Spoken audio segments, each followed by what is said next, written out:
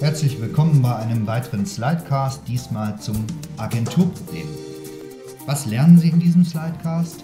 Erstens wollen wir Ihnen das grundlegende Problem, nämlich das Agenturproblem, erläutern und einige grundlegende Begriffe erklären. Zweitens möchten wir die Entscheidungsprozesse bei Agenturproblemen anhand eines Beispiels erläutern, um danach darauf aufbauend verallgemeinert die Problematik hinter diesem Agenturproblem zu diskutieren.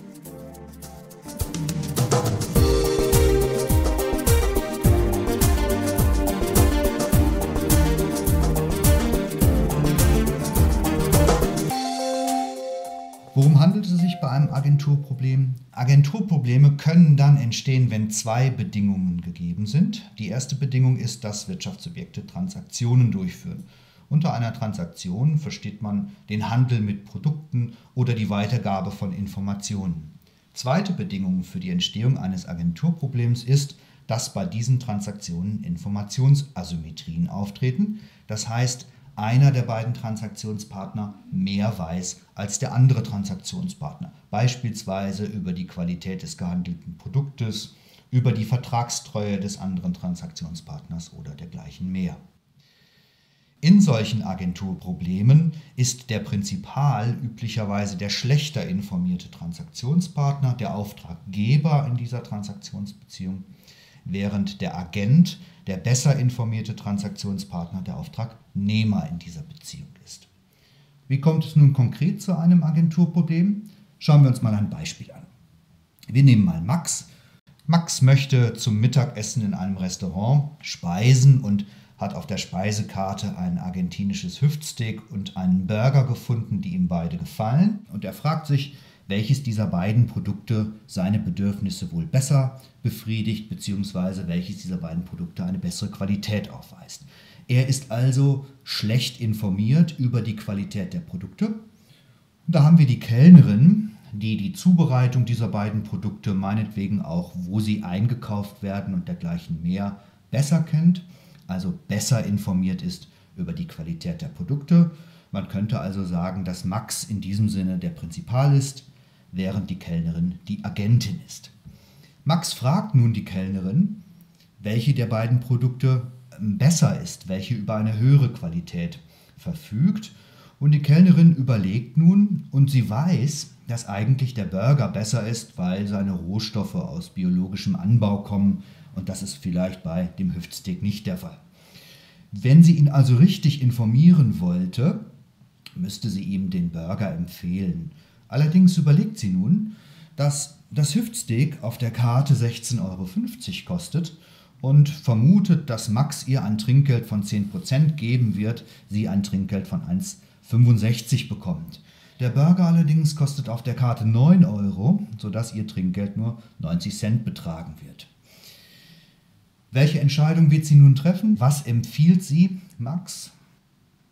Das Agenturproblem behauptet, dass die Kellnerin einen Anreiz hat, Max entgegen besseren Wissens das Hüftsteak zu empfehlen, weil das ihre eigene Bedürfnisbefriedigung besser werden lässt.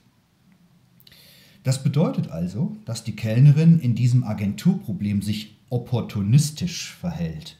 Unter Opportunismus verstehen wir in der Agenturproblematik das Ausnutzen des Informationsvorsprungs zum eigenen Vorteil, das tut die Kellnerin hier, und zwar unter Verwendung von List, Lüge, Täuschung und Tücke. Und das tut die Kellnerin hier auch. Denn sie belügt Max, weil sie behauptet, dass das Hüftsteak besser ist, obwohl sie weiß, dass das nicht stimmt. Verallgemeinern wir die Problematik, dann sehen wir, wir haben in einer einfachen Agenturbeziehung einen Prinzipal, der ist in der Regel der schlechter informierte. Wir haben einen Agenten, der ist der besser informierte. Diese beiden führen eine Transaktion durch, das heißt der Prinzipal beauftragt den Agenten etwas für ihn zu tun, der Agent erfüllt diesen Auftrag, er leistet. Das an sich wäre noch kein Problem. Das an sich ist eine einfache Agenturbeziehung, die erst dann zu einem Problem wird, wenn asymmetrische Informationen vorherrschen.